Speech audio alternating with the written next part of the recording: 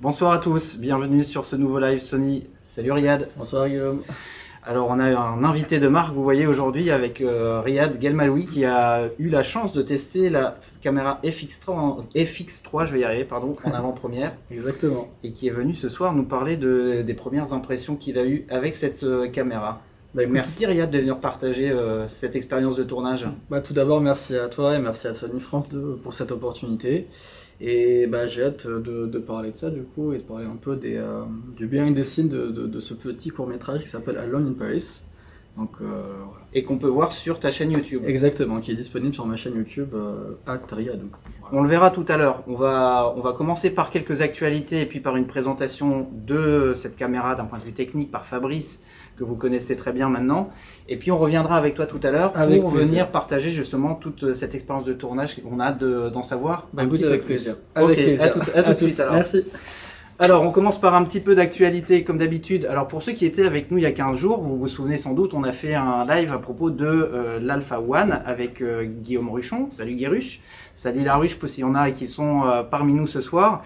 Euh, et on, a, on avait euh, eu en ligne Francis Bompard. Francis Bompard qui est notre... qui est, je vais peut-être enlever mon masque, oui.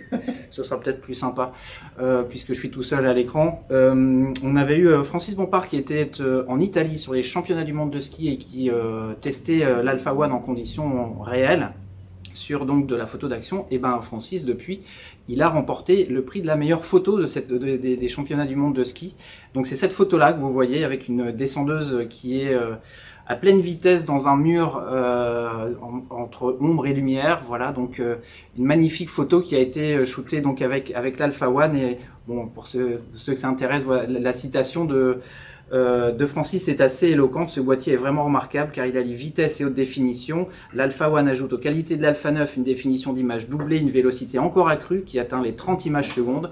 Cette rafale stratosphérique permet de capturer l'instant décisif, celui où tous les éléments s'alignent parfaitement pour, permettre d'obtenir une image spectaculaire, notamment dans l'attitude du sportif et surtout, on est assuré d'obtenir cette image à tous les coups. Ça dit tout. Voilà, je pense que tout est dit sur cet Alpha One.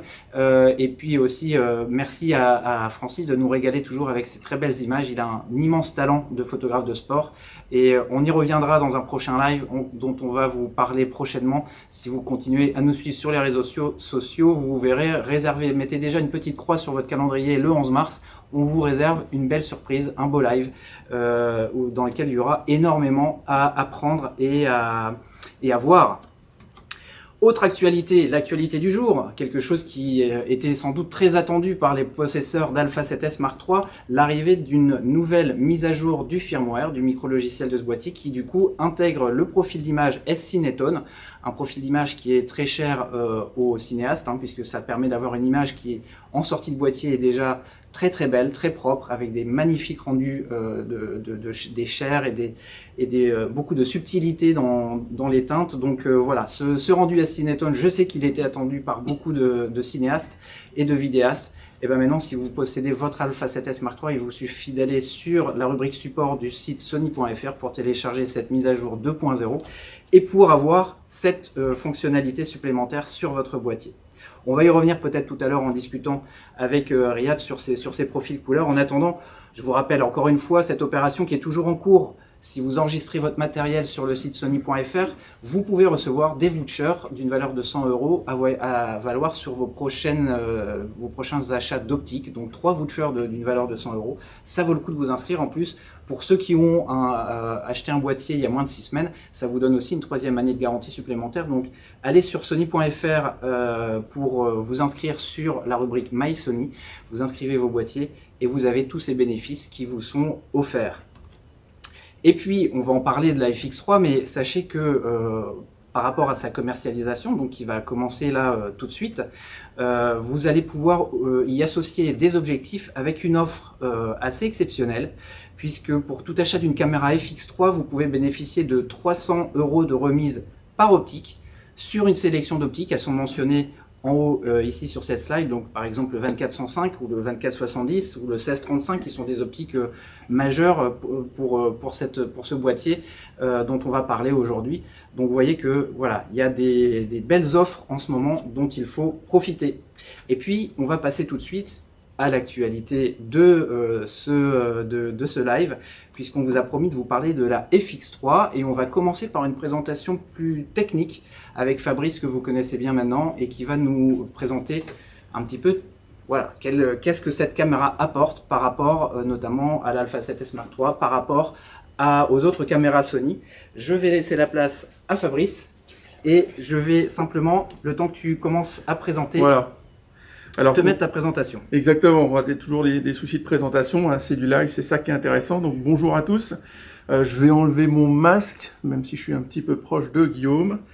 Et puis, ce le temps qu'il fasse ça, je propose Marie-Pierre qu'on puisse faire un gros plan sur le produit parce que on a de la chance. Euh, D'habitude, quand on fait un live, on n'a pas le, le, produit avec nous parce qu'il est dans les mains des photographes ou simplement euh, il n'est pas encore disponible. Là, on a de la chance. Effectivement, on l'a récupéré. Donc, euh, je dis merci à Salomé euh, Rapina qui a pu d'ailleurs faire une belle production. Allez voir sur Alpha Universe son clip, sa vidéo, pardon, son film, on peut dire, qu'elle a fait avec la FX3. Et donc voilà, elle nous l'a prêté juste pour le live. Je lui rends demain. Donc voilà, donc la caméra, elle est là. Et c'est vraiment un peu le cœur des choses, hein. c'est-à-dire que euh, c'est les questions qu'on vous posera tout à l'heure. Euh, c'est euh, voilà, euh, pourquoi je choisirais une FX3 alors que c'est très proche d'un 7S3 C'est vraiment le sujet euh, qu'on va aborder aujourd'hui. Et vous allez voir, et vous le voyez hein, quand je vous la montre ici, bah, même si le cœur c'est un 7S3, l'ergonomie, la logique d'utilisation, c'est une caméra pro et c'est là que toute la différence va se faire à l'usage. C'est pas la même utilisation, c'est pas la même logique. Et c'est ce qu'on va voir justement euh, maintenant avec la présentation qui est en train de s'ouvrir, je crois. Mais déjà, on peut aussi vous une poser question une, première question si vous voulez réagir sur notre euh, Instagram. Euh, parce que tu disais justement, bah, toute la question va tourner aussi du, du, fait de savoir si on choisit une FX3 ou un Alpha 7 S3. Bah, nous, on est curieux de savoir si pour vous, en ce qui concerne la vidéo, vous préférez utiliser une caméra vidéo ou un appareil photo hybride. Voilà, comme ça on saura un peu euh, mieux euh, répondre peut-être à vos attentes. Alors la, la, la, copie là. La présentation euh, continue de se charger. voilà, ouais, on n'est pas, voilà, on va la copier et dans deux secondes c'est prêt et comme ça on va pouvoir débuter quelque chose d'un petit peu plus technique. Dis-nous déjà, fais-nous peut-être le tour du boîtier Alors, avec ce qui change ergonomiquement par rapport à un Alpha 7 S3. Alors on va reprendre sur le gros plan. Alors, je n'ai pas ma petite pièce, mais je suis en train de dévisser euh, la poignée qui est en même temps aussi l'outil euh, XLR, euh, la mixette son, on va en parler. Donc, qu'est-ce qui change? Extérieurement, on voit bien que le boîtier est quand même très différent. On n'a plus de viseur. Hein, je me rapproche un peu de la caméra. Hop. On n'a plus de viseur. On a vraiment ici euh, un granité et un système extérieur qui est bien sûr en alliage magnésium et qui est complètement dans l'ergonomie et le design euh, caméra et la, la Cinema Line avec ici le bouton d'enregistrement, le joystick, plein de boutons, 1, 2, 3, 4 fonctions, il y en a 14 euh, qui permettent d'associer les fonctions, et puis vous voyez ici, les petits trous, en fait, ce sont des filetages standards, il y en a 5, euh, qui permet en fait de transformer le boîtier comme une sorte de mini-cage. Et donc ça, c'est de l'ergonomie à l'usage qui est vraiment euh, très intéressant. On a toujours ce beau capteur plein format. Et puis on va voir, alors je sais pas si vous arrivez à la voir, voilà, il y a une petite grille que vous voyez ici, c'est ce qui fait aussi toute la différence, c'est qu'on a un système de, dissipation de chaleur qui est active, hein, d'accord C'est-à-dire euh, qui euh, où on a en même temps le radiateur passif plus un système actif qu'on va pouvoir activer, désactiver de façon quasi automatique. Donc c'est filmé sans aucune contrainte de temps. Donc c'est ça un peu la clé du boîtier. Et puis on va voir euh, en détail maintenant que la présentation. On espère que les vidéos vont passer. C'est parti. Ok, je remonte l'optique. Merci Guillaume. Donc, je vous propose, on se fait 20 minutes. Je vais essayer de faire plus court, un peu intensif, pour pouvoir après laisser la parole euh, à Riyad et puis euh, à Guillaume, parce que c'est aussi le retour d'expérience qui est le plus intéressant.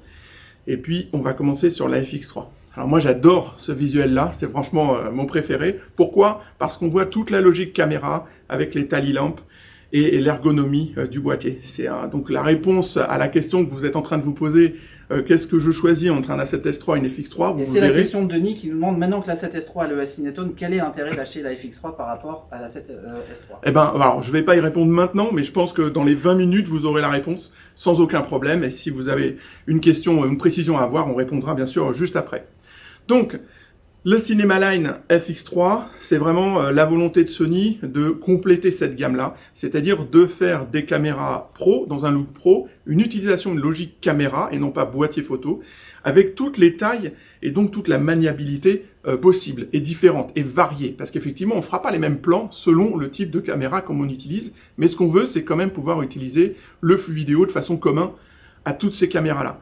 Donc le point commun, ça va être effectivement le rendu des couleurs, et là, pour le coup, la maniabilité, tout en ayant la fiabilité pour tourner longtemps, euh, comme tout le reste des autres caméras Cinema Line.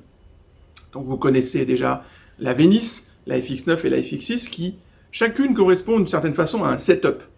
Un, setup beaucoup plus lourd, type cinéma pour la Venice, des setups intermédiaires documentaire fiction, même si bien sûr on peut tout faire et tout mélanger, ça sera la FX9. Plus de polyvalence et de légèreté, c'est la FX6. Et dans la logique caméra, on va ouvrir un champ qui est quasiment l'agilité, hein, c'est-à-dire la possibilité d'avoir un point de vue à un seul opérateur qui va compléter le reste ou au contraire se porter par lui-même. C'est ce que propose comme alternative la FX3. Donc très rapidement, alors j'ai rentré cette slide-là, elle est, c'est un peu des, des, slides internes, mais ça vous permet de voir qu'effectivement on a cette ligne-là qui est la Cinema Line avec Venice FX9, FX6, qui va être prolongée effectivement par la FX3, et puis ben, on est à la croisée des chemins avec euh, le 7S3 que vous connaissez bien. Donc c'est tout le cœur de la question que vous venez de poser. Donc si on regarde bien la logique d'utilisation de la FX3, qu'est-ce qu'on va avoir à l'intérieur? Alors c'est des choses pour certains d'entre vous que vous connaissez déjà. C'est on a ce fameux capteur qui est un capteur 12 en photo, un 3,5, qui devient 10,2 en 16 neuvième. Donc c'est ce capteur rétroéclairé très rapide qu'on a sur le 7S3, qu'on a sur la FX6 aussi, et qu'on reprend bien sûr sur la FX3. Le double processeur, hein, deux processeurs dédiés, euh, XR, donc beaucoup plus puissant, qui va accompagner ça. Donc c'est ce cœur-là qui va être le moteur de la qualité vidéo euh, de, ce boîtier-là. La montée en ISO exceptionnelle, donc bien sûr, hein, avec 12 millions de pixels, très adapté au 4K, on peut monter très très haut, 409 600, même en vidéo, avec une gestion du bruit vraiment très très haut de gamme. La dynamique de 15 stop, vous la connaissez déjà, on l'a beaucoup sur nos boîtiers. En vidéo, attention, en S-Log 3 bien sûr, en Ciné 3, c'est important euh, pour pouvoir vraiment capter les plus grands écarts de luminosité euh, dans l'image. Et puis, ben, le S-Cinetone, alors on vient de l'annoncer euh, sur le 7S3, c'est effectivement, c'était logique qu'elle apparaisse aussi sur le 7S3, parce qu'elle est aussi dans l'Alpha One. C'est pour une cohérence de flux? Sachant que le S-Cinetone, en fait, c'est une alternative pour ne pas être obligé de faire du log. Et derrière, de passer sur de l'étalonnage en post-prod. On est sur un rendu vraiment ton cher, comme le disait Guillaume, euh, qui est très très agréable, bonne dynamique et un bon rendu tout de suite très bon. Et donc vous allez maintenant l'avoir sur toutes les caméras. Donc vous allez pouvoir mélanger les flux vidéo avec différents points de vue sur différents setups de caméras. Il y a toujours, bien sûr, tous les S-Log, les S-Gamut 3, Gamut 3 Ciné, toujours en 10 bits, sans 4.2.2. Vous connaissez, hein, c'est vraiment pour le coup la pratique de la post-production. Après, pour l'étalonnage, on est dans une logique de production très professionnelle. Alors, juste un petit scope un petit peu plus pointu, juste pour vous montrer qu'effectivement, les logiques de pensée sont un petit peu différentes entre un A7S3 FX3 et FX6, mais on va voir comment ça s'architecture. C'est-à-dire, on va retrouver les mêmes choses c'est-à-dire les, Picture Profile 1 à 6, plus le nouveau qu'on vient de mettre aussi, notamment sur le 7S3 avec Cinetone, vont se retrouver dans les modes custom euh, de la FX6 par exemple. Mais donc ça veut dire que vous avez les mêmes réglages.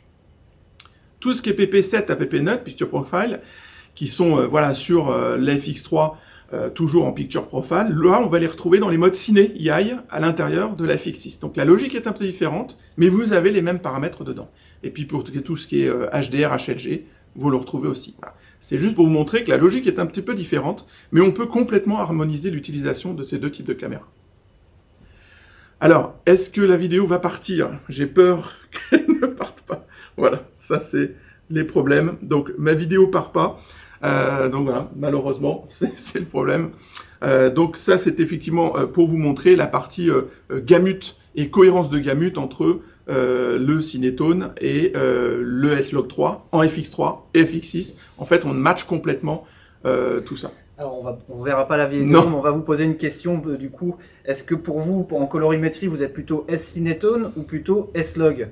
Euh, c'est une question que, voilà, qui, à mon avis, euh, euh, peut faire débat. On va, va pas ouvrir le débat ce soir. On est juste curieux de savoir, vous, voilà, comment vous avez l'habitude de travailler. Est-ce que vous êtes plutôt sur du. Vous préférez travailler le, le, S-Cinetone ou est-ce que vous préférez faire votre colo en post-prod avec les profils S-Log Voilà, et ben allez-y, c'est sur notre profil Insta tout de suite. Voilà. Et on va revenir euh, un tout petit peu. euh, Sony.France. Sony.France. On va revenir effectivement et on va continuer la présentation. On va essayer une alternative, euh, bien sûr. Donc, si on continue sur les specs que vous connaissez, c'est bien sûr le meilleur de la 4K en 120 images par seconde et donc un ralenti 5 fois potentiellement et jusqu'à 240 euh, en, en Full HD. Donc ça, tout ça, bien sûr, sur la base du capteur plein format. Donc ça, c'est vraiment le cœur FX3 et on a une caméra qui est pensée, c'est-à-dire d'emblée, c'est-à-dire vous la sortez de la boîte, la poignée que vous voyez au-dessus, elle est fournie dans la boîte avec le système audio. Vous prenez, vous montez, vous shootez, et vous avez un setup qui est euh, très rapidement mis en place. L'autofocus, en ce qui concerne l'autofocus, on est bien sûr sur un AF hybride, euh, qui est donc détection de phase et contraste, qui est aujourd'hui le plus rapide euh, qui a jamais existé. On est sur les mêmes copies que la 7S3, ça va très vite, avec notamment la détection de l'œil, le suivi de l'œil, le tracking de l'œil en temps réel. hein. On a des séquences qui ont été faites avec le 7S3, donc qui sont très similaires avec ce que vous faites avec les FX3, où on a un suivi du sujet, même de dos, même s'il va dans le coin, etc. Donc ça, c'est très important. Et toute la partie touch tracking, qui permet justement bah, de, pouvoir euh, choisir son, plan de mise son point de mise au point au doigt. Alors là, c'est montré sur l'écran de l'appareil, mais on peut faire ça sur l'écran du téléphone portable en connexion Wi-Fi, ça marche très très bien. En termes de stabilisation, ben, on a la stabilisation classique que vous connaissez, puisque ça vient justement de la 7S3, donc on est stabilisé par le capteur. A contrario, par exemple, la FX6 n'a pas de stabilisation mécanique, mais elle va avoir un filtre de densité euh, variable. Donc là, on a la stabilisation mécanique, plus une stabilisation supplémentaire électronique, et plus la possibilité aussi de faire une surstabilisation euh, au sein de Catalyst Browse, c'est-à-dire avec les informations gyroscopiques pardon, euh, du boîtier. Alors encore une fois, j'avais des très très belles vidéos à vous montrer pour pouvoir euh, voir justement ce système de stabilisation, mais je pense que ça va être un petit peu compliqué. Alors je vais tenter quand même une approche assez rapide. On va juste voir si c'est possible. On va rouvrir juste une slide pour savoir si ça passe. Et puis, on va regarder juste, on va voir, on va essayer. Ça prend 5 secondes. On va essayer de vous la passer. Alors, on essaye. Voilà, donc ça c'est pas mal. Donc euh, vous voyez à gauche on n'a pas de stabilisation et à droite on a l'active mode. Enfin on a la stabilisation capteur normale et à droite on a l'active mode. Donc on voit bien effectivement que euh, le côté euh, active mode permet de lisser beaucoup plus. Si on regarde le setup lui-même, on voit bien que le, bah, le caméraman il est à main levée. Il est dans une position d'instabilité majeure. Donc la stabilisation active apporte beaucoup de, de, de gains. Alors on peut pas dire en nombre de steps, mais beaucoup beaucoup. Et on va voir, alors c'est encore la slide d'après, Marie-Pierre, si on peut remettre juste, voilà, parce que ça va démarrer tout de suite. Si maintenant on met la stabilisation active, plus la stabilisation par euh, Catalyst Browse. Donc c'est à droite, donc vous voyez, là on a triple stabilisation d'une certaine façon. Alors là, on a beau être à bout de bras, on a l'impression qu'on est euh, directement sur un système euh, de, steady, de Steadicam complet. Donc ça, c'est vraiment important de pouvoir euh, considérer la stabilisation comme étant un point très fort en termes de qualité de flux vidéo euh, euh, produit.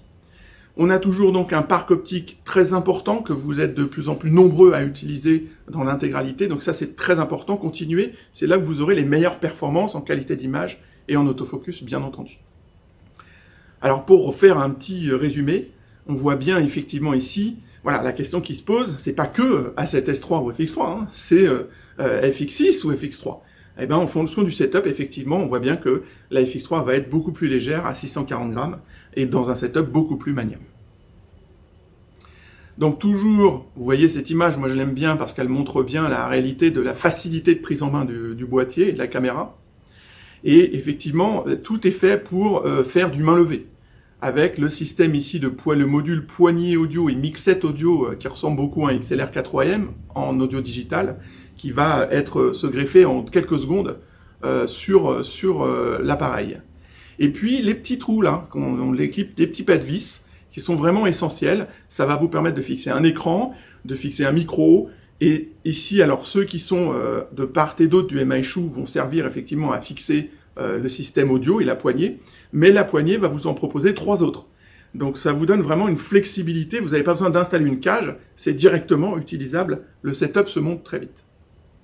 Alors j'aime bien cette vidéo-là, parce qu'on va chronométrer hein, le temps que met euh, l'utilisateur là à monter un objectif et à monter la mixette son. Vous allez voir comme ça, pour le coup, vous pouvez pas le voir en vrai pour l'instant.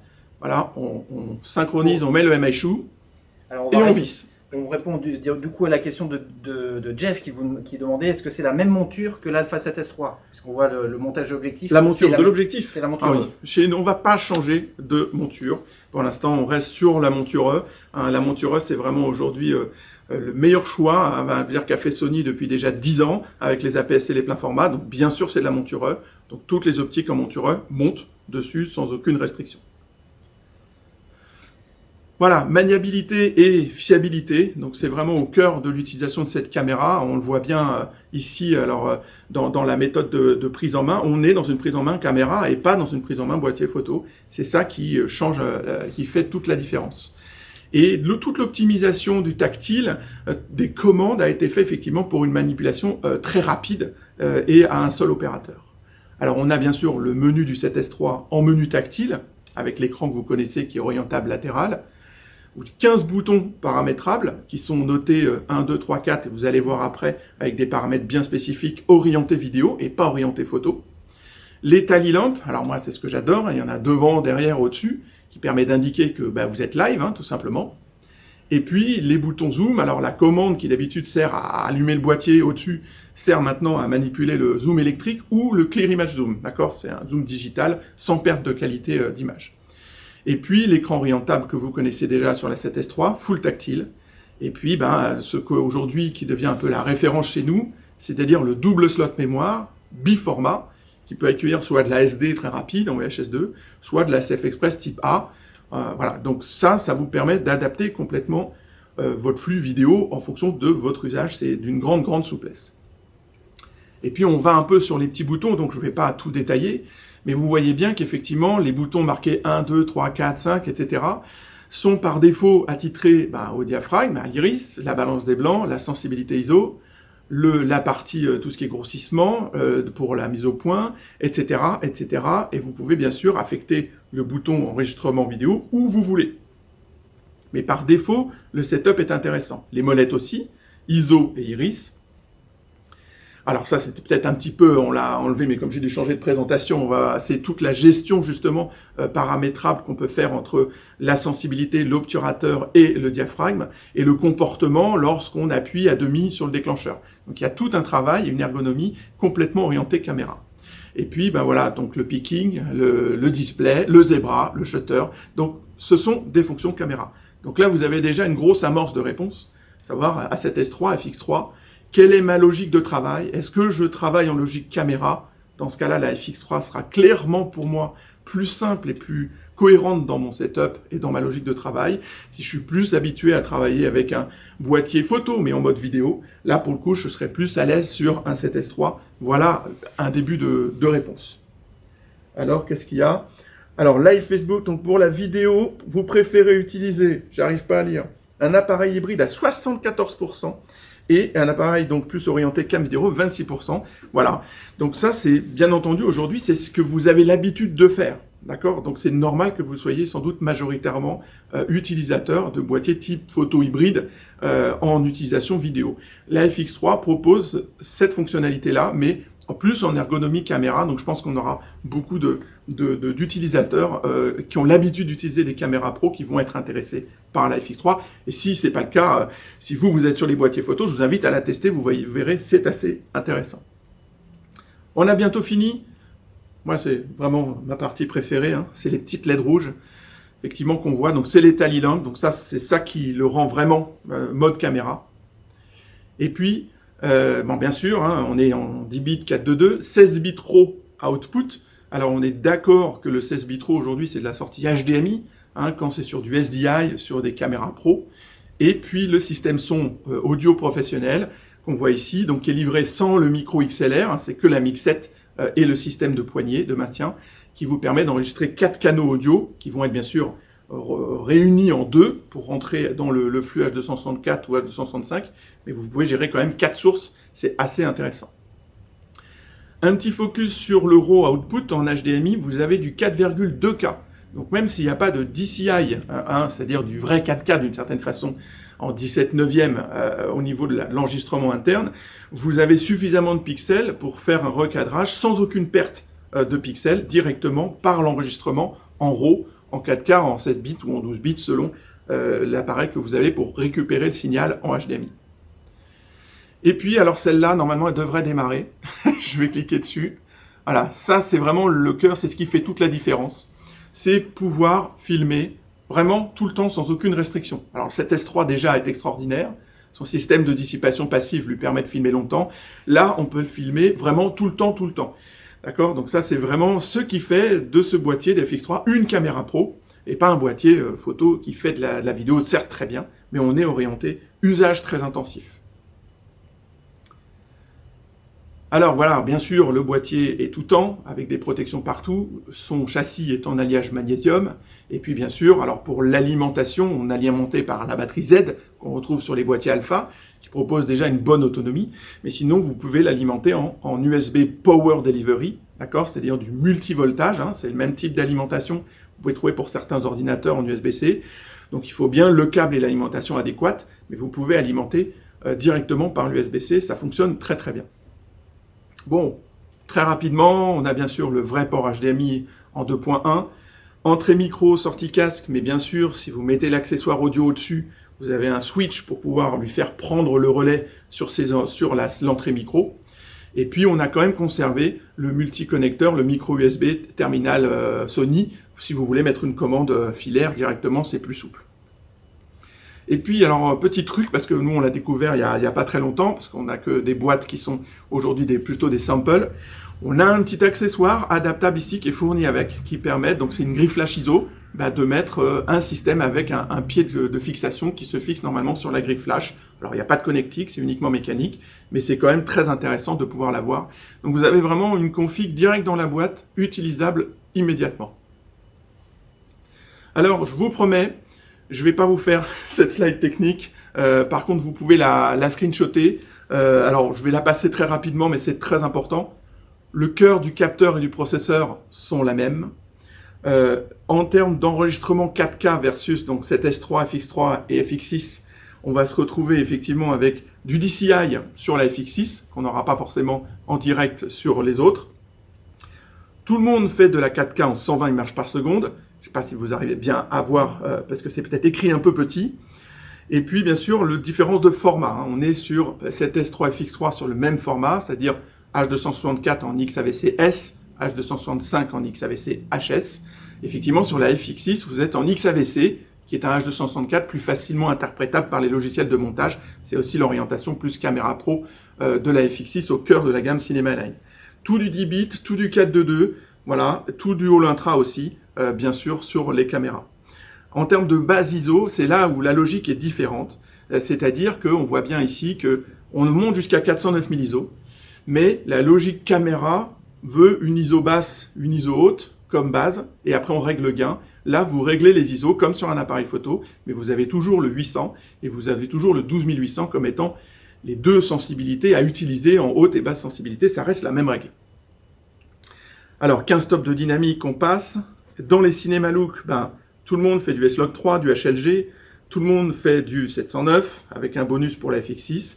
Tout le monde fait du S-Cinetone. Alors excusez-moi, j'ai pas mis à jour cette slide, mais bienvenue au 7S3 sur le S-Cinetone. Et puis bien sûr, un bonus pour la FX6 puisque on va avoir toute la partie lutte personnalisée.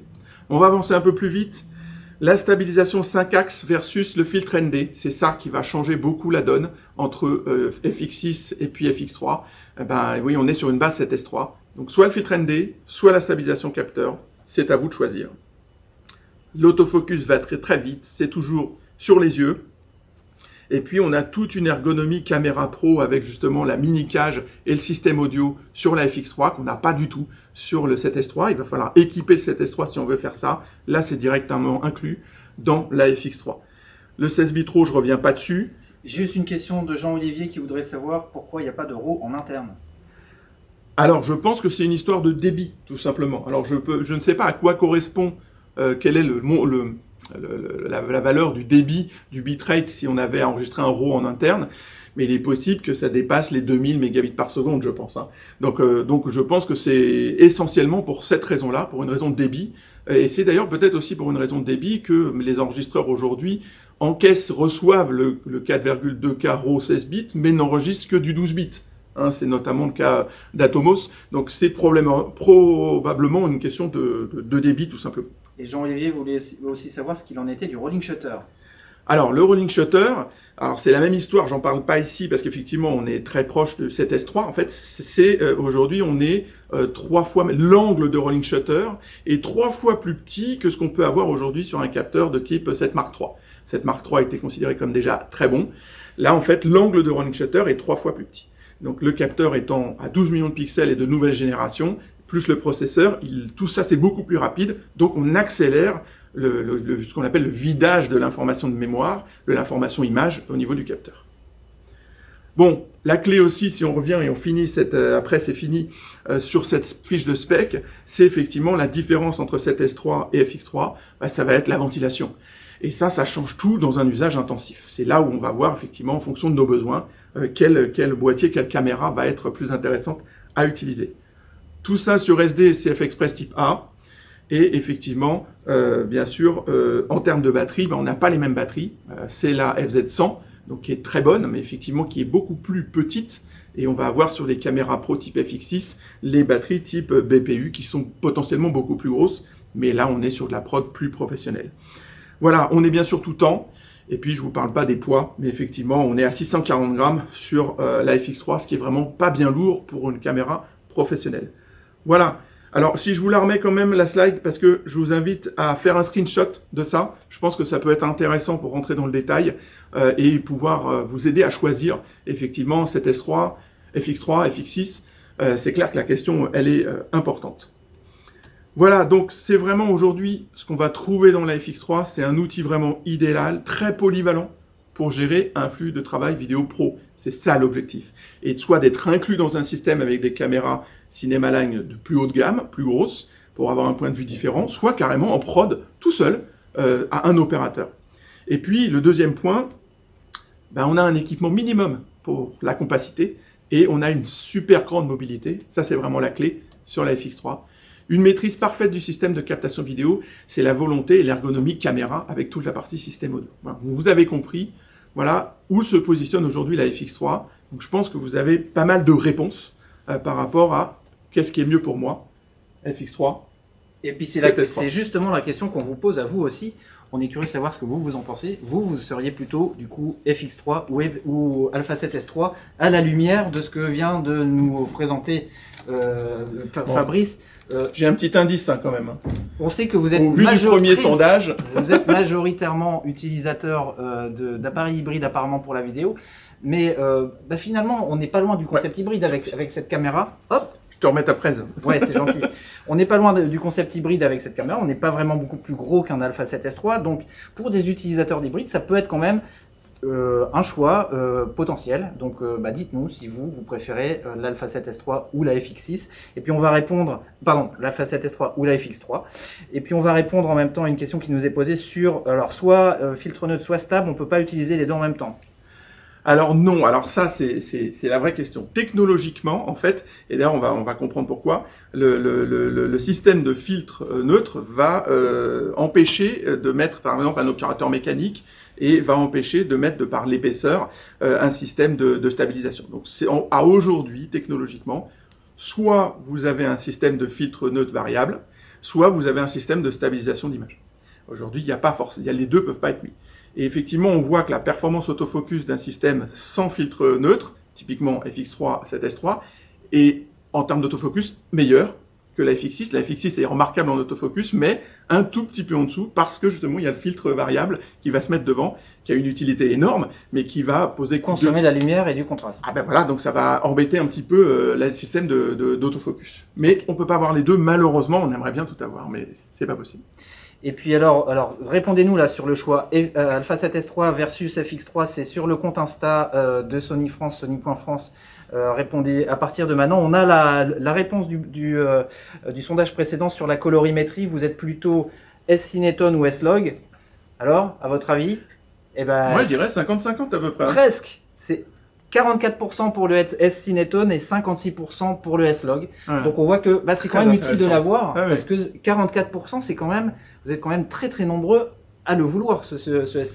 Ouais, mais je pense que c'est vraiment intéressant parce que ça simplifie hein, la- la- la- le flux vidéo et en même temps tout en gardant énormément de qualité. Super. Je Merci ma. Fabrice. Merci à toi. Et puis euh, bah, maintenant, l'idée c'était que on parle un petit peu de, euh, de réalisation parce que là on vous a parlé de technique, on vous a dit tout sur ce qu'il y avait sous le capot de cette FX3, mais maintenant, merci Riyad de nous rejoindre. Bah, avec plaisir. On va parler d'images parce que Yes. avec ces caméras, c'est pas juste pour euh, admirer la fiche technique qu'on les achète, c'est pour faire des films. Exactement. Et donc tu, nous- as- tu as proposé, euh, tu, tu nous as proposé un super beau film qui s'appelle Alone in Paris. Et ça. puis je propose peut-être qu'on commence par le regarder tout simplement. Bah, avec plaisir. Si- J'espère que mes liens n'ont pas sauté, mais sinon je vais vous le mettre sous forme de vidéo. Hop, pardon. On va essayer de ne pas voir le double flux. I'm Candace, a young Parisian girl who went out for bread. Est-ce que vous avez le son. I'm Candace, Everything seems a normal young. Parisian Ah, girl n'a who went out But for it bread out fresh air that in life has Paris. come to a standstill. Everything due to a seems normal that has confined the entire But it turns out that life has come to a standstill début. due to a pandemic that has confined the entire population. I'm Désolé. walking alone in a district va le remettre au début, hein. crowded with On se le refait. C'est parti.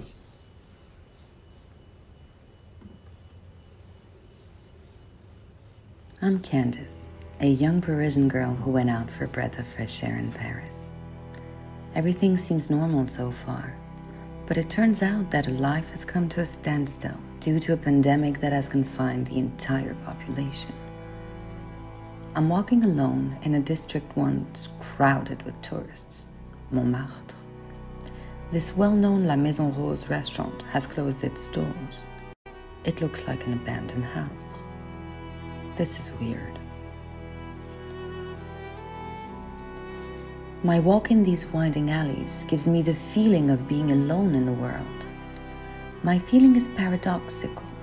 On one hand, I'm more appreciative of this beautiful place, empty of tourists. But on the other hand, it gives me a strange feeling. Besides, I'm the first to complain about these tourists. As a Parisian, I admit that I complain too much all the time. It's very cliche, but I'm okay with it. All these beautiful places to myself?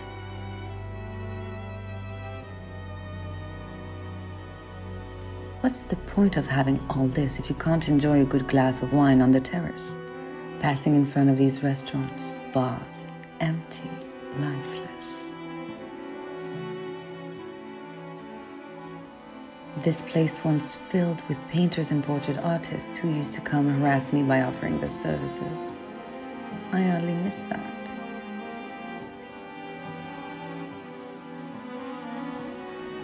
Paris still has its magic, but I don't know. There's something missing. Here I am in Rue de Rivoli, totally empty. I'm heading towards the most visited museum in the world, the Louvre Museum. It's so beautiful, but so sad to see it without life. I didn't used to come here often, as there are usually too many people. Strangely, I miss it. Each step on this beautiful paved street echoes around me. I'm totally alone in this great Paris. I go towards the Quai de la Seine, which I often found very noisy, and even here, nature is rebelling. An impressive flood gripped the docks, a romantic and iconic place for aperitifs. This noise, these people, these party animals. Strangely, I miss it. I continue my walk in this empty Paris. I have never enjoyed our Tour Eiffel so much as now. So beautiful, but so sad. The most visited monument in the world without its tourists and souvenir sellers who animate the Iron Lady. Strangely, I miss it. The famous beer hacking bridge, animated by its photo shoots of newlyweds who immortalize their love, is empty, sad, without love. Ah, the metro. Always noisy, sometimes with delays, and even if everyone is shouting, I miss it, strangely. I miss seeing this diversity of people, these musicians and their recordings. Anyway, I think you understood how life has changed radically here. We can complain about our routine and everything around us, but all it takes is a little virus to turn our life upside down and completely change it. It took a pandemic to realize that what makes Paris so magical, it's not just these monuments, but the people who bring it to life. These tourists, it's diversity. It's when you lose something that you truly recognize its value.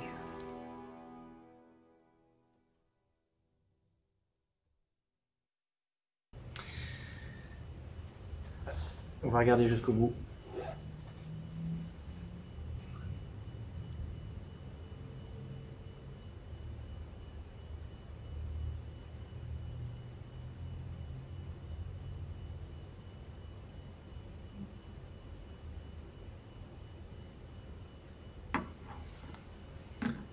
Super. Bravo, Merci. un très joli film. Alors, on est désolé parce que le, le- le flux, pour ceux qui nous regardent sur Zoom, la qualité n'était pas forcément idéale. On vous invite à aller eh ben, sur le profil euh, YouTube de, de Riadoug sur, euh, sur, euh, sur YouTube. Donc, c'est ton, c'est ton, ton pseudo, hein, Riadoug. Exactement, exactement. Que ce soit sur Insta ou sur YouTube. un peu partout. Voilà. J'ai un donc, seul pour tout. Allez le voir sur, sur, sur YouTube. Vous aurez peut-être, pour ceux qui, qui ont trouvé l'expérience peut-être un peu décevante au niveau de, de la compression de, de nos systèmes de streaming. Allez la voir, vraiment, elle est magnifique. Vous pouvez même, si vous avez un vidéoprojecteur, moi c'est ce que j'ai fait chez moi, je l'ai regardé en grand, en large, et c'est vraiment, les images sont vraiment Bravo, Merci. Riyad. Merci beaucoup. Je voulais bah, déjà te poser la question de, avant de parler de, de l'expérience de tournage technique, de, tu nous parles un petit peu de, du projet artistique, de, où est venue cette idée de faire ce, cette- ce film sur le Paris vide? Exactement. Bah, en fait, l'idée déjà, euh, bah, avant que, que je commence un peu à écrire ce petit court métrage, c'est que voilà, il y a eu, euh, bah, j'ai eu l'appel de, Sony France, donc de chez vous, comme quoi on a une nouvelle caméra à présenter. euh, Est-ce que tu, veux- être un petit peu l'exclus française à la tester Euh, bah, Je dis carrément, mais, elle rentre dans quelle catégorie? Donc là, on me dit que c'est une caméra cinéma. Je dis, oh, trop bien. En plus, c'est une caméra cinéma compacte.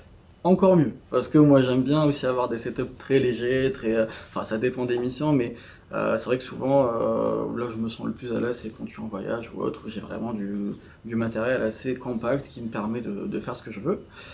Et euh, quand on a eu justement la présentation euh, un peu en avant-première, enfin avec le DNA, NDA et tout, enfin les trucs de voilà pour pas Confidentialité. confidentialité exactement. Euh, la présentation de la caméra m'a un petit peu aidé dans l'écriture du film. C'est-à-dire que ça a été présenté comme une caméra où c'est une one person opérateur. C'est-à-dire c'est qu'une seule personne qui va tout faire. C'est-à-dire qu'il va faire confiance à l'autofocus. Il va faire confiance à la maniabilité. euh, voilà, enfin, on La n'avait pas encore. d'image. Voilà. Le Et- son intégré. Exactement, en fait, de là, ça m'a un petit peu guidé dans la façon de, de, de ce que je voulais écrire. Et bon, c'est vrai qu'on vit dans une, maintenant depuis une année, qu'on vit dans une période assez particulière, et euh, c'est vrai que c'est pas évident d'aller voyager ou pour faire un contenu dans tel tel pays, c'est chose que j'adore faire, mais bon, c'est vrai qu'il y a pire dans la vie. Donc voilà, je me suis dit au final, c'est vrai qu'on on cherche toujours à faire des trucs euh, loin, euh, ou alors dans des îles, dans des Islandes et tout. Mais le Paris vide que tu nous montres, il est magnifique. Et c'est ce que je me dis, c'est que parfois, en Et fait, quelque part, c'est quelque chose qu'on ne reverra peut-être pas plus tard. exactement, exactement. Ça, va être aussi des archives. Exactement. Donc je me suis dit, il fallait, fallait pas aller chercher très loin. euh, il fallait juste regarder autour de nous. C'est vrai que nous, on vit à Paris, on se rend peut-être pas compte de, de la beauté de cette ville ou autre. En tout cas, moi, en sortant faire des photos, un petit peu des vidéos juste pour mon Instagram ou autre, euh, bah, c'est vrai que j'ai eu une sensation de... C'est bizarre, il y a un truc qui manque. Je me sens seul. En fait, c'est vraiment le sentiment que enfin, j'ai jusqu'à aujourd'hui, hein, mais euh, voilà. Et du coup, quand euh, bah, l'occasion s'est présentée pour faire ce court métrage, je me suis dit, autant ça tombe à pic, j'ai envie de faire un truc sur Paris. Sur Paris vide, je veux être seul sur le tournage, très très minimaliste comme, comme setup. Et j'ai pris un risque peut-être, parce que, parce que euh, voilà, pour, juste pour rentrer dans les détails, mais on pourra peut-être rentrer dans le détail un petit peu après, mais j'avais le boîtier, euh, bah, la poignée, une seule optique, donc le 16-35, et c'est tout. Pas de stab, pas de, de light, pas de. rien du tout. Et on a tourné Et ça. une sur- poignée, tu m'as dit. Une Ouais. petite poignée en plus. Voilà. Et une petite Grâce poignée au en plus. petit, au petit, euh, Exactement. J'avais emmené. euh, ISO. Exactement, j'avais emmené une poignée un petit peu sur le côté, parce que c'est vrai qu'il est tellement compact que parfois on a envie, on a envie de se dire, bah ça passe déjà avec les deux mains, mais si on veut vraiment avoir une plus grande stabilisation, enfin stabilisation, soit on prend le- la poignée d'en haut pour faire euh, voilà des, des petits, euh, par exemple contre-plongée, exactement. ouais. Sinon, si on prend en largeur, c'est vrai que d'ailleurs je sais même pas si celle-là on peut la mettre sur le côté, non, on peut pas. On pourra pas, je pense. Bon. Et du coup, c'est euh, donc c'est de là que je me suis dit, ce serait bien d'écrire un truc sur la situation actuelle. Et c'est comme ça que, que, que, que j'ai un petit peu écrit ça. C'était venu très très vite, c'est-à-dire que c'était une semaine, allez, dix jours où j'avais énormément de travail à côté. J'avais ce boîtier à côté, je me suis dit, ça serait dommage de pas faire un truc avec. Donc, allez, euh, on se lance. J'ai pas besoin de deux tourné ça en combien de temps? Une journée. Ah, On voilà. a commencé à, aller à 11h du matin et on a fini euh, après le couvre-feu vers 19h. Ah oui, parce que c'est finalement le pari vide euh, qu'on Oui. voit, on se dit mais ça a dû être pris euh, vachement tôt le matin ou euh, Alors, aux heures où il n'y a personne dehors parce qu'il y a vraiment personne. Donc là, je vois la question venir, c'est comment t'as fait pour avoir Paris vide? Alors, bah, juste pour se mettre un petit peu dans le contexte, ça a été shooté il y a peut-être une quinzaine de jours. Donc c'était pas pendant le premier confinement ou le deuxième ou autre. Donc c'était vraiment ces jours-ci où il y a quand même un peu de gens qui sortent parce qu'on est autorisé. fait beau là, surtout ces derniers Et- jours. hein. Exactement, exactement. D'ailleurs, j'ai eu de la chance d'avoir une journée où il faisait beau. Enfin, c'était vraiment la seule journée. hein. Je- J'avais Ouais. pas trop le choix. Vraiment, d'un point de vue euh, organisation, j'avais pas trop le choix. Je me suis dit, bon, même s'il fait moche, c'est pas grave, il est tropicalisé. On y va. On y va. Et donc on commence à vers 11h, j'ai choisi un peu le quartier de Montmartre parce que euh, pourquoi Montmartre? C'est tout simplement, il raconte beaucoup de choses. C'était un lieu où je pouvais mettre vraiment deux trois histoires dedans parce que non seulement le style architectural, euh, voilà, c'est typique de, de parisien, il y a le côté où il y a plein d'artistes. Donc c'est vraiment le côté artistique que je voulais aussi un peu transmettre, enfin côté artistique vite pour le coup parce Et le pari iconique quand même. Et le Paris iconique avec cette histoire de balcon qui donne un peu sur euh, la vue sur Paris. Donc je voyais ça comme un- une très bonne introduction à mon, à mon court métrage et après justement avancer sur la suite. Et donc pour répondre à cette question-là, ben, on a commencé le shoot euh, du coup avec euh, Candice Messelin que je salue si jamais elle, elle regarde la vidéo, qui a, Salut été, Candice. euh, voilà, qui a été modèle, enfin actrice sur la vidéo. Et euh, l'histoire c'était qu'en fait euh, on allait dans des lieux où il y avait quelques personnes. Je voulais pas utiliser des effets spéciaux parce que je voulais rester un petit peu, euh, on va dire, authentique et en même temps, j'avais pas trop de temps. Donc voilà, je me suis dit, on va faire vraiment euh, du, du raw, c'est-à-dire de la vraie vidéo. Et c'est vrai que c'était un peu voler des instants. Il se passait 2-3 secondes où, de l'angle où j'étais, voilà, où, où là on était, il y avait pas de gens. Donc c'était vraiment, ça se passait sur des secondes, c'était vraiment alors des images volées limite en fait. C'était vraiment très très. euh, Le pari à la sauvette. C'était le paria, la sauvette exactement. Et le fait d'avoir aussi, euh, bah, en tout cas moi, personnellement, quand je fais des projets, enfin, mis à part professionnels, mais quand je fais du perso, euh, ce qui me fait toujours un peu vibrer, c'est vraiment le fait de sortir de sa zone de confort. Il y a des choses qu'on sait faire, c'est vrai, on va toujours peut-être faire la même chose ou autre, et là on se dit, ouais, on maîtrise. Mais c'est vrai que là, je suis arrivé là, je me suis dit, une seule optique, pas de stab, rien du tout, j'ai pas le choix. Il faut que je fasse un truc. J'ai pas le choix, donc j'étais un petit peu motivé par ce stress. Donc ce stress qui me disait qu'il faut des images de Paris presque vides, stabilisées. Comment t'as fait ça? Je vais l'expliquer juste après. Donc voilà. donc, on, va le, re- on va le regarder. Alors là, on est sur ton compte Instagram. euh, donc euh, pareil, hein, sur Instagram Riadoug, si vous voulez voir. Sur tes Reels, là, on va, on va voir cette, euh, cette petite vidéo où Oui. on voit le plan, le plan que, que ça donne et la manière dont tu l'as filmé. Parce que tu avais une petite caméra pour te filmer toi. Exactement. C'était, exactement. tu as fait aussi un peu de, de behind the scene. Exact. Voilà. Alors vous voyez un petit peu comment ça se passe. C'est vraiment du, euh, du main levée. On voit qu'il y a vraiment aucune machinerie, aucune euh, autre forme d'accessoirisation euh, autour du boîtier. T'as même pas quelqu'un pour te retenir derrière si jamais il y Non, a non, j'ai- j'étais vraiment comme voilà, comme je l'expliquais au début. sans filet. Exactement. Une personne. Ils ont dit dans le brief one person opérateur, bah c'est j'ai respecté one person, il n'y a pas plus. Donc euh, une seule personne. Et du coup ouais, donc pour revenir sur ce côté euh, bah, de, de behind the scene, euh, bah, sur ce reel j'ai eu beaucoup de, de commentaires. euh, Il y avait des gens qui ont cru que j'étais un sniper. Ils m'ont dit mais comment tu fais pour tu retiens ton souffle? J'ai dit non, pas vraiment. C'est pas là il y a une par- y a une partie euh, de la caméra qui fait en fait un peu ce travail. Ouais. Et euh, donc pourquoi j'ai pas pris de stabilisateur? Tout simplement, même s'il y a la stabilisation active qui est vraiment intéressante, Mais comme je faisais quand même des pas où voilà, je regardais pas derrière, donc il y avait. enfin, Malgré tout, une amplitude qui faisait qu'il y avait encore un peu de mouvement. Exactement. D'ailleurs, même avec un stabilisateur, on peut l'avoir, hein, Mm. même avec un gimbal ou autre.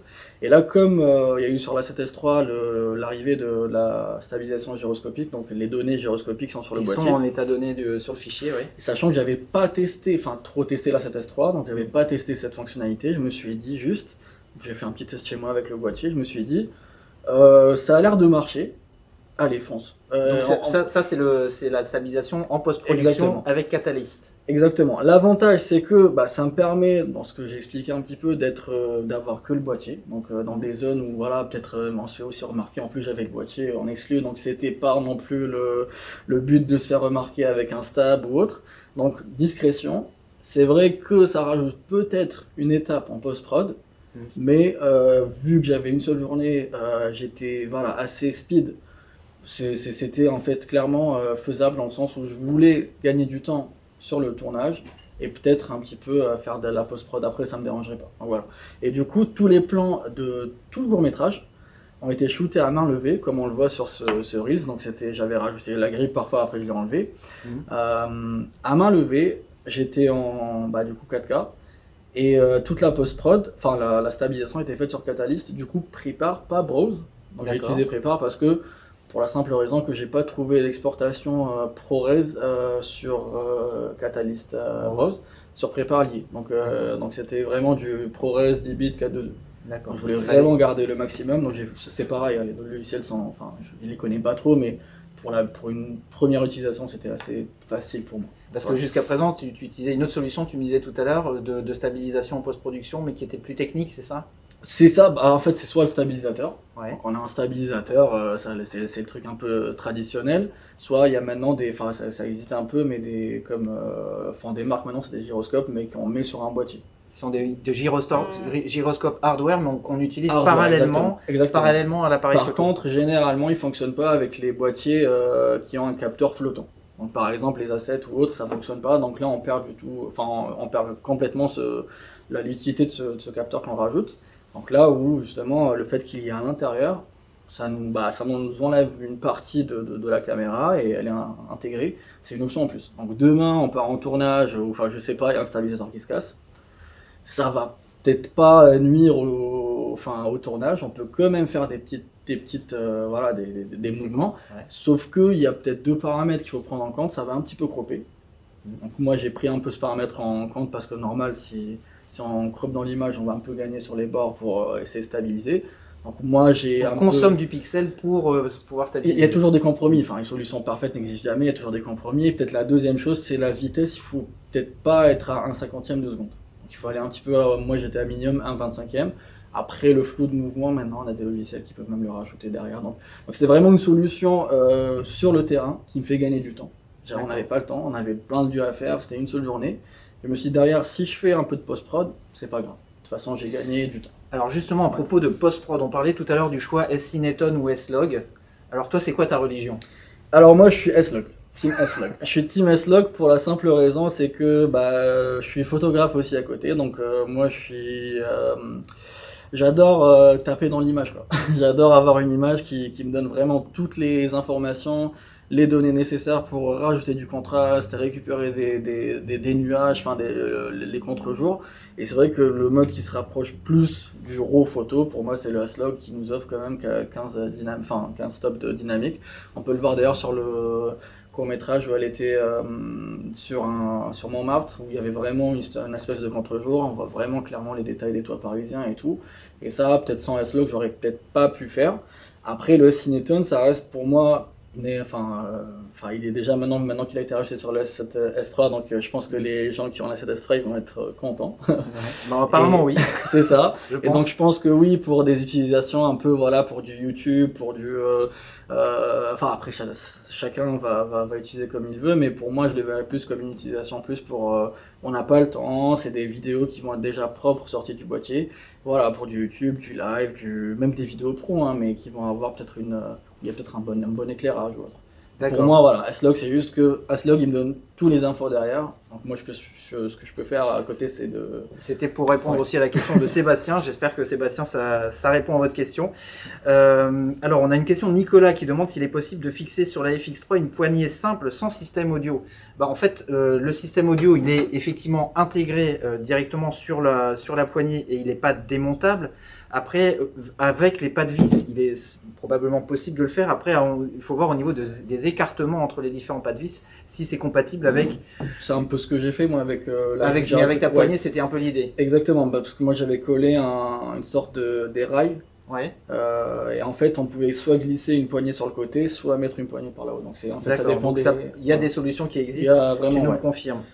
Euh, et Nicolas qui voudrait savoir si, euh, si au niveau de la batterie, le ventilateur diminue beaucoup la capacité du, Z. En fait, le ventilateur, vous pouvez le gérer tout simplement déjà. C'est-à-dire que vous n'êtes pas obligé de l'avoir constamment activé. Vous pouvez choisir qu'il s'active, euh, par exemple, uniquement quand vous coupez le rec de manière à ce que la ventilation ne perturbe pas l'enregistrement. Vous pouvez euh, choisir qu'il tourne tout le temps, vous pouvez choisir qu'il tourne pas du tout.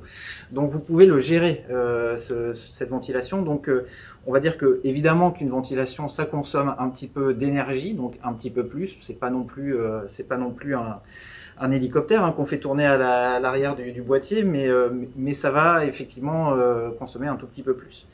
Mais vous, comme vous pouvez le couper, vous pouvez le gérer. Voilà. Parlant de batterie, peut-être moi, en fait, dans, mon, dans ce que j'ai shooté, aller de 11h à 19h, j'en ai peut-être utilisé une batterie et demie. D'accord. Et euh, d'accord. Et tu shootes, euh, enfin t'es, t'es, t'es le Ouais, temps- j'étais ouais, j'étais assez. euh, bon, Tu t'es pas freiné, on va dire, Non, sur le, non, sur, le rec. Le ventilo était allumé d'ailleurs, je crois. Enfin, je, je savais même pas qu'on pouvait le désactiver, je l'ai su un petit peu après. Euh, il me dérangeait pas, mais c'est vrai que, que quand je passais la main, il y avait un petit euh, Un souffle d'air. souffle, voilà, c'est tout. Et c'est pareil pour les Taliland, hein, d'ailleurs, les, dont parlait, euh, Justement, ouais. dont parlait euh, Fabrice tout à l'heure. Vous pouvez aussi choisir de les désactiver si vous préférez pour éviter d'être trop, euh, trop. Et Moi personnellement, je savais pas aussi. Enfin, je savais pas non plus que- qu'on pouvait les désactiver, mais moi j'ai aimé dans le sens où c'est stylé, comme on dit.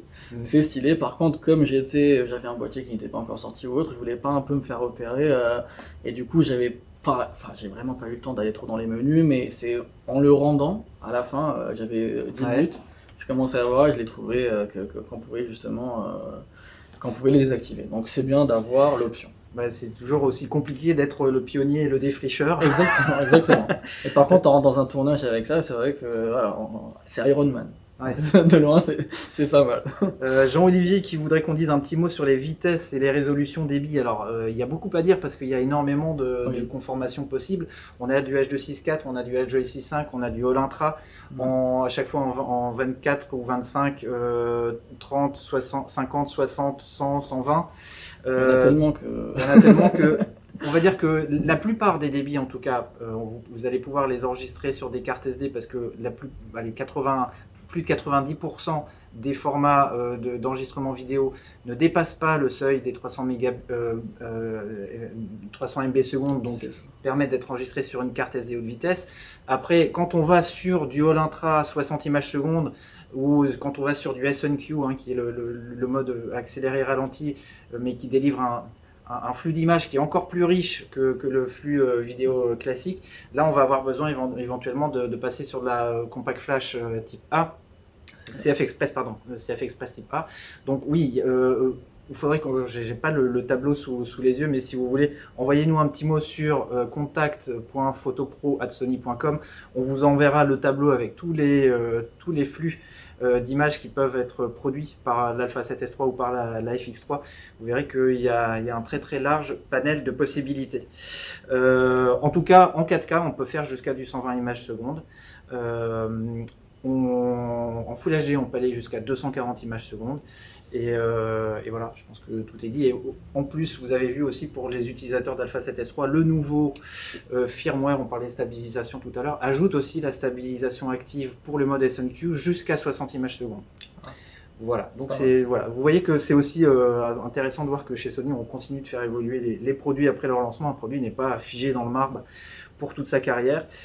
Toi, qu'est-ce que tu. Alors, jusqu'à présent, tu utilisais quoi principalement comme caméra? Toi, tu, tu es plutôt hybride ou plutôt caméra vidéo? Ça dépend, ça dépend des projets parce que bah, vu qu'à côté j'ai une agence créative à Paris, on bosse avec pas mal de marques, genre par exemple notamment Adidas, euh, voilà Volvo et tout, et euh, ça dépend des projets. Donc parfois j'ai j'ai besoin d'avoir le strict minimum, le plus petit du matériel pour, euh, voilà, Pour être agile. efficace, exactement agile.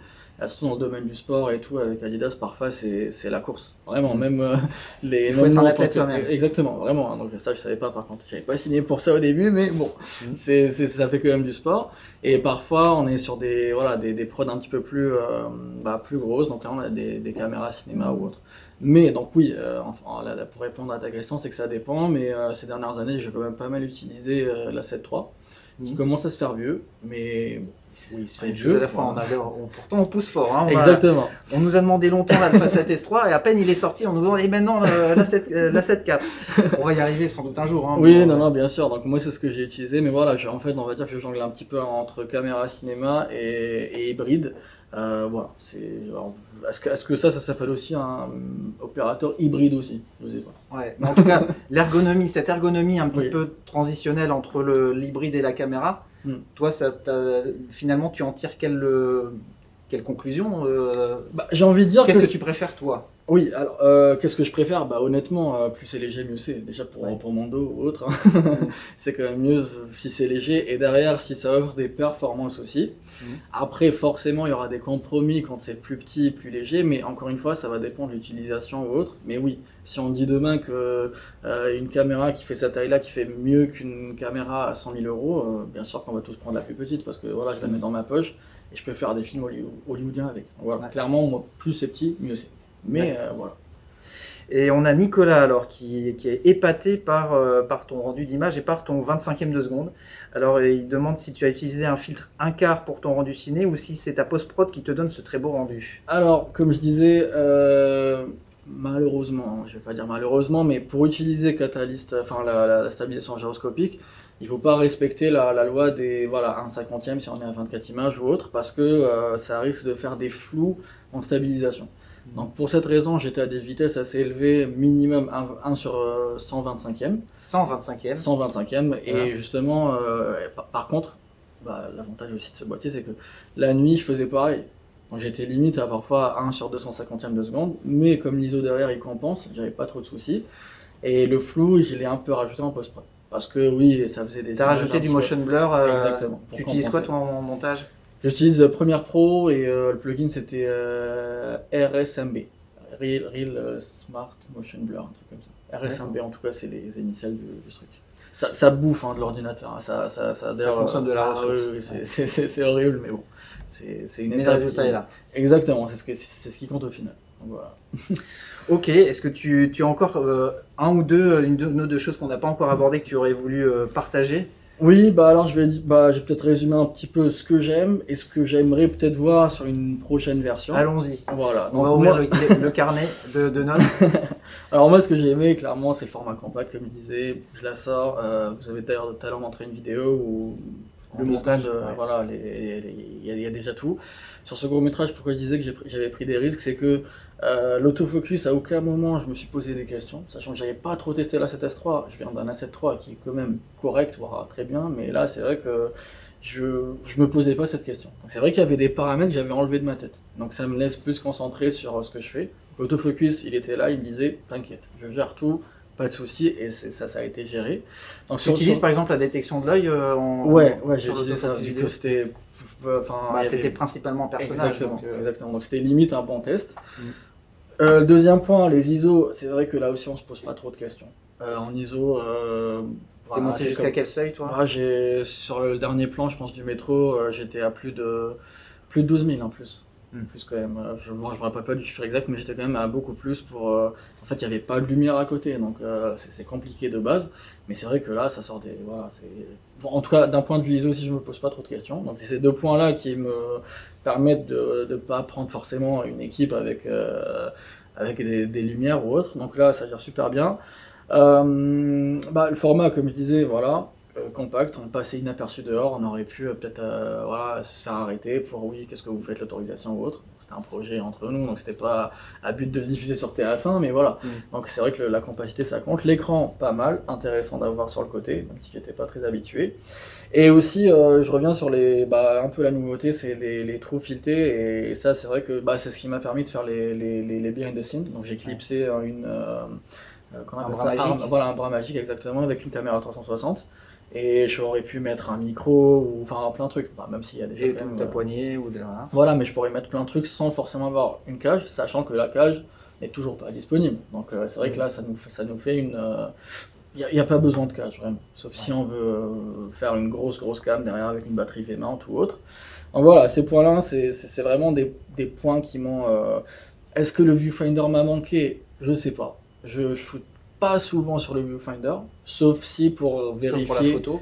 La photo, voilà, mais sinon pour vérifier un peu mes plans quand il y a beaucoup de soleil ou autre. Mhm. Mais euh, j'aurais peut-être tendance à mettre un grand écran plus, enfin, plus lumineux. Mhm. Le viewfinder, ouais, pour la vidéo, je sais pas. Est-ce qu'il va manquer? Je sais pas. Bah après, il faut peut-être voir un peu dans le temps, mais euh, Ça n'a pas été un frein euh, sur ton tournage? non, ça n'a pas été un frein, sachant qu'il y avait quand même pas mal de soleil et tout. Et comme je disais, l'autofocus et tout, bah, c'était des choses qui, qui étaient limite euh, assurées. Donc j'avais pas besoin d'avoir un énorme écran ou autre, donc voilà. Maintenant, oui, comme bah, j'ai fait aussi une vidéo review normalement qui va sortir peut-être ce soir. Ah, Euh, ce que, très bien. Ce que j'ai Alors, euh, résumé. Il y a une suite. C'est ça, ce que j'ai résumé. Bon, peut-être pour les gens qui voient maintenant le live, ils vont avoir Ouais. un peu le- la, la, On va, voir, on va voir la primeur. c'est ça. Donc ce que j'ai dit à la fin, c'est que malheureusement, c'est le frère jumeau de la 7S3 pour moi, mais j'ai envie de dire heureusement qu'on a le choix. C'est-à-dire que c'est vrai que, je le disais, à 3-4 ans, euh, après la sortie de la 7S2, c'est vrai qu'on râlait tout sur les réseaux, sortez-nous un boîtier, sortez-nous. C'est vrai que maintenant, il y en a tellement qu'il y en a pour tous les pour tous les goûts. Et je pense que lui, c'est vraiment le premier hybride dessiné vraiment vidéaste pour le coup. Parce que c'est vrai que la 7S3, il est fait pour les vidéastes, mais on l'appelle quand même euh, hybride. euh, moi, je me souviens aussi qu'on avait, qu'on s'était, la première fois qu'on s'est rencontrés, on avait parlé du fait que chez Sony, il n'y avait pas de boîtier pour les vlogueurs. Aussi, ouais. Et que depuis, c'est arrivé. C'est ça, non mais c'est ça, exactement. ouais. Finalement, c'est vrai que les usages se diversifient et bah, logiquement les matériels aussi. C'est-à-dire que euh, en fonction des profils d'utilisation, l'idée c'est d'avoir l'outil le mieux taillé, on va dire, le mieux, euh, le plus ergonomique pour le bebesoin qu'on en a. Donc clairement, Après, vous- ouais. si vous faites photo vidéo, évidemment le, le viseur euh, le numérique va vous importer. Euh, L'ergonomie euh, d'un appareil photo plutôt que d'une caméra, parce qu'on a vu que les boutons raccourcis n'étaient pas Ouais. nécessairement les mêmes. Ouais. Bon, tout ça, ça a, une, ça, ça- ça a du sens. Voilà. Exactement, donc pour moi je la vois un peu comme vraiment la toute première qui... Voilà, je dis encore une fois, heureusement qu'il y a passerelle. du choix. Exactement, la passerelle, c'est quoi la différence? C'est vraiment les, ce, ce filtrage, enfin la- la- la- le, le gabarit, le format, la couleur, que j'aime bien. Ça, change un peu quand même. Bah, ça y la aussi l'aspect look, hein, forcément. Voilà, donc ça c'est ce que je me suis dit. Donc au final, malheureusement ils se ressemblent, mais heureusement qu'on a le choix. C'est-à-dire que si on veut de la pure vidéo, ou alors on a déjà une FX6 et on veut une caméra B qui matche les couleurs ou autre, ça passe pour les drones. Enfin, peut-être que le drone qui va annoncer, que vous allez Le annoncer justement, hein. je la vois comme On une sait pas encore beaucoup hein, sur le ça. Airpic, hein. Il va d'abord être commercialisé Japon-États-Unis pour la France. Pour l'Europe, ce sera un petit peu plus tard, donc euh, il est encore un petit peu tôt pour en parler. Donc je la vois aussi comme le fait qu'il n'y ait pas de, de viewfinder, donc c'est assez box, donc je la vois comme un peu une crash cam, c'est-à-dire que c'est une caméra qu'on va vraiment mettre sur des gimbals, des, des voitures, des... Voilà, dans la gamme cinéma, c'est vraiment la caméra passe partout. Donc je la vois comme ça. Maintenant, euh, ce que j'aime, j'aurais aimé voir, peut-être dans une autre version ou autre, bah tout à l'heure euh, vous en avez parlé, mais c'est vrai que c'est compliqué techniquement à faire. Le filtre ND, euh, techniquement, voilà, ça c'est. Nous, c'est vrai que derrière on parle, on veut ça, ça, ça, mais c'est vrai que bon, je suis pas ingénieur. Euh, Il y a des fois des équations qui sont difficiles à résoudre. ça. Bon, on voit que les choses avancent quand même. c'est hein, ça, donc, voilà. Donc je me suis dit. Ça ne veut pas dire que ça, ça n'arrivera jamais, mais pour l'instant, on n'a pas encore trouvé le- la- l'option euh, magique pour ça. Donc ça, je, je, je- enfin, je me suis dit que ça aurait été vraiment un game changer, mais bon, vu le format, ça aurait été, enfin, c'est compliqué comme euh, vous venez de l'expliquer. Il y a aussi peut-être un autre truc que j'aurais aimé aussi euh, voir, pas que peut-être dans cette caméra, mais même dans la, je sais pas d'ailleurs si ça existe sur la Fix 6, euh, tu me diras si je, dis des bêtises, mais le format ProRes, ProRes, c'est-à-dire en, en enregistrement directement sur le boîtier. Je sais pas si ça existe, il faut passer Alors. par un, un enregistreur. Je connais pas suffisamment les. les-. Oui, mais oui, le- je vois ce que tu veux dire. Pour l'instant, c'est vrai que tout ça, c'est des, des, des options qu'on a via des enregistreurs externes. C'est ça. Parce que clairement, euh, là, ce que j'ai enregistré, bah, je, je l'avais peut-être pas mentionné, mais j'ai utilisé l'option euh, proxy. Mhm. Parce que c'est vrai que ça reste des fichiers, bon, qui sont pas énormes, énormes, mais Toi, tu avais tourné d'ailleurs en quoi En H264, H265, Olentra euh, H264 au Intra. D'accord. Et euh, donc j'avais mis des proxys à côté, euh, ça m'a clairement aidé.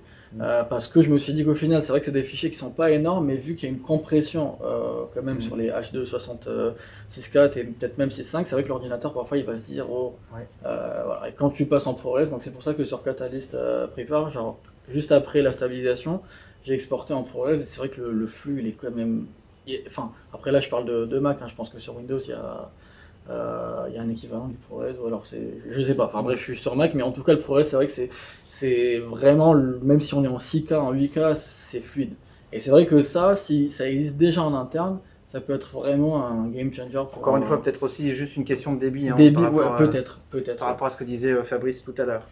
Donc voilà je pense que j'ai un peu fait le tour mais euh, l'expérience était vraiment agréable euh, pour vraiment le peu de, de temps qu'il a eu en main et euh, Bon, en tout cas, merci beaucoup à toi de t'être prêté au jeu avec Ah autant bah, de talent avec parce que le résultat est vraiment probant. Encore une fois, allez le, le- beaucoup. le revoir en, en haute définition sur, sur YouTube, sur ta chaîne YouTube, Riadoug, R-Y-A-D-O-U-G. Euh, ben écoute, euh, je pense qu'on a un petit peu dépassé, mais j'espère que j'ai peut-être trop parlé désolé non, non, c'est très bien. Euh, je pense que c'était l'échange était très riche. J'espère qu'on a répondu surtout à toutes vos questions, euh, vous qui êtes de l'autre côté de, de cet écran. Euh, en tout cas, merci à vous d'avoir été encore présents et nombreux ce soir pour suivre ce live. On est très content de, de ces échanges et puis merci encore à toi, Ah, Riyad, pour merci. le temps que tu as pris pour, pour venir nous partager cette avec expérience. plaisir de et merci à vous Voilà, on, se retrouvera bah, comme prévu euh, dans 15 jours. Euh, oui, j'ai oublié de, parler de encore deux ou trois bricoles parce que c'est vrai que tu as fait des films, mais tu n'as pas été le seul. On a aussi euh, publié sur le site Alpha Universe donc des films qui ont été réalisés par Salomé Rapina que l'on salue et qu'on le remercie parce que on a réussi à récupérer juste à temps pour ce live la caméra qu'elle avait justement pour faire le tournage qu'elle a fait. Donc merci Salomé pour nous l'avoir redonné pour ce live. Et donc euh, voilà, un très beau film, très onirique, euh, que je vous invite à aller voir sur la plateforme Alpha Universe. Un autre film beaucoup plus décalé, euh, drôle, dynamique, qui a été réalisé par Denis Schmeitz et qui est, qui, qui est voilà, qui est, je vous laisse découvrir, je vais pas vous le spoiler, mais ça vaut le coup d'être vu. C'est assez décalé et c'est très agréable. Donc vous savez, hein, la plateforme Alpha Universe, c'est là qu'on retrouve tous euh, les contenus de nos ambassadeurs notamment, mais aussi euh, et ben voilà, des, des tests de produits sous la forme d'images. Voilà, et ben, je vous remercie encore une fois pour votre présence ce soir. On se retrouvera dans 15 jours pour un autre live dont on vous dévoilera le contenu tout prochainement. Je vous l'ai dit, faites une petite croix sur votre, calendrier pour le 11 mars parce que ce sera un live un peu exceptionnel. Euh, donc euh, bah, c'est celui de dans 15 jours, effectivement. Donc euh, on vous envoie des nouvelles très vite par rapport à ça. Et puis d'ici là, on vous souhaite de surtout très bien vous porter et de prendre soin de vous. Voilà, à très bientôt. Merci Riyad. Merci, à au bientôt. revoir, merci. Au revoir à tous.